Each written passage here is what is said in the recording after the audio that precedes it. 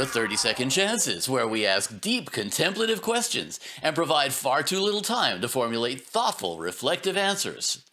My guest today is award winning sound effects and sound designer Ric Viers. Ric is the author of the Sound Effects Bible and the Location Sound Bible and Make Some Noise. He is the founder of Blastwave FX and he is the host of Detroit Shop the, the, the Detroit Chop Shop Video Diaries.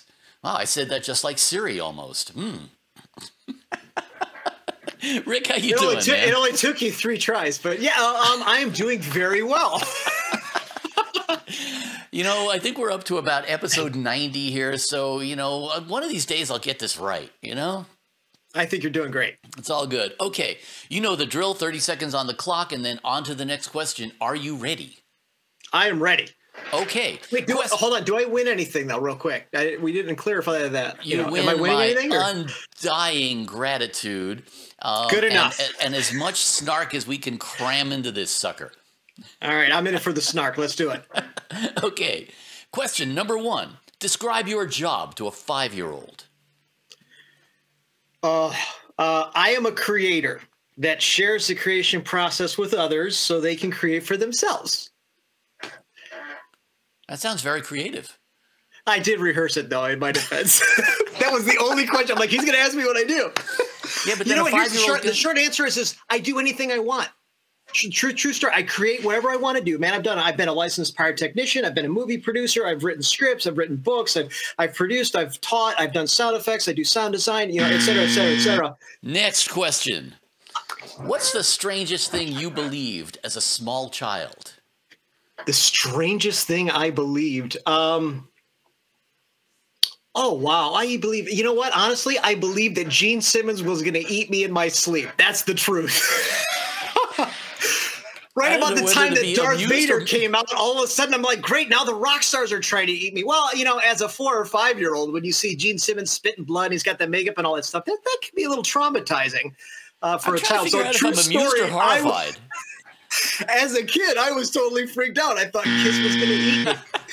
Next question. What's the one thing you wish someone had told you before you started your career? um, nobody ever does it right. Because the whole time I, I was like, man, I got to be doing it wrong. And then every time I would meet somebody that was doing something moderately successful, they're like, I have no idea. I'm making it up as I go along too. So um, there's no right way to do it. Just do what feels good and just don't stop. That's that's what I wish somebody would have told me. Because the whole time I was doing my career, I'm like, am I doing this right? It seems like there should be a better way.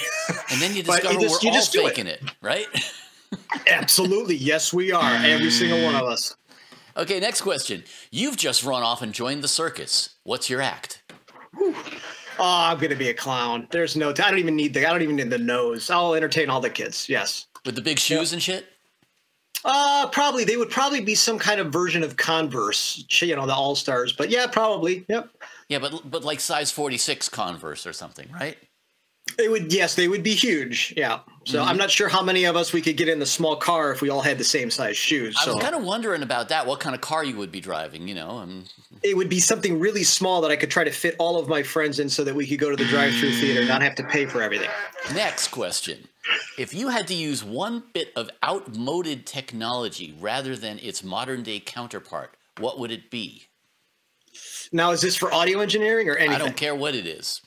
I got to go with audio engineering because the first thing that popped in my head. I've never had a chance to play with one of these, and I always wanted to. But a Synclavier. I'm pretty sure I could run circles around it with the software that I used even from you know decades ago. But uh, I always wanted to play with the Synclavier, and I never got a chance to. I could imagine that, yeah. And, and that's the thing. It's like now you can probably do all that stuff with your phone, you know?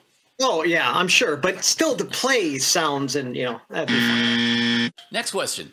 What is the weirdest or most embarrassing thing you've ever done on autopilot?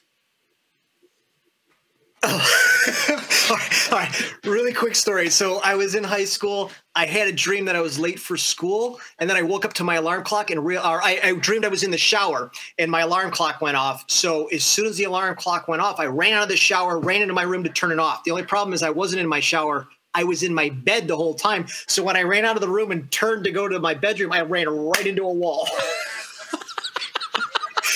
True story. The next week, I drove myself to school at 3:30 in the morning because I didn't realize what time it was. So, and believe it or not, I never did drugs. That is brilliant. okay, next question.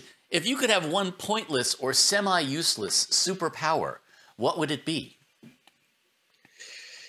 Uh, you so, right, so this is a semi-useless. Right. I don't want to hear you want to fly or something like that or X-ray vision. Well, if it's going to be you know- semi-useless, I want to be able to fly, but only this high. That way, I could just kind of elevate, and then people would just push me, and I would just float around the room. I don't know. I'm not sure what kind of superpower I would need. well, well that's sort of superpower- interesting. That is, that's not really flying. That's like hovering. I'm super evasive because I can get myself out of problems pretty easy. Mm. Excuse, man. Yeah, exactly, man. Yep. I love it. Okay, that concludes our regularly scheduled questions. I'm now going to put 30 seconds on the clock and allow you to either answer for me a question you wish I had asked you, pontificate on something, shamelessly plug something, ask me a question, whatever you want. It's 30 seconds. Go. Oh wow. Um, gee whiz. Uh, do you have any other questions for me, or do you have any follow-up questions for what I asked? Is that a question? I think so. You said I could ask anything. That's my question. What would you do if I gave you 30 seconds and had nothing to do with them? um, you know, that's a good question. Probably hum, uh, hum the theme song to Jeopardy, but then I think we would get into licensing issues. Uh, you know what? I liked my answers, and I'm sticking to them. That wasn't that bad. That wasn't. That didn't hurt at all. That was actually very well done. I like the way you punted on that last one. That's kind of cool. It was very meta, you know? Um, It was judo. I was just getting out of the way and giving it back to you. I love it. Yes, indeed. I don't want this. Give it. Yeah. You can have the question. Ric Viers, thank you for being our guest. My pleasure. Welcome to 30 Second Chances.